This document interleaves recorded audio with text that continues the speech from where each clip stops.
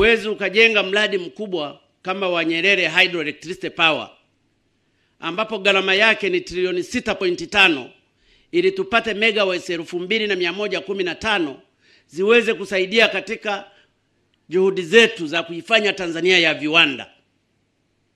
Usipokuwa na umeme huna viwanda, na ndiyo maana tukishaanzisha ule mradi na ukakamilika, hata bei ya umeme itashuka.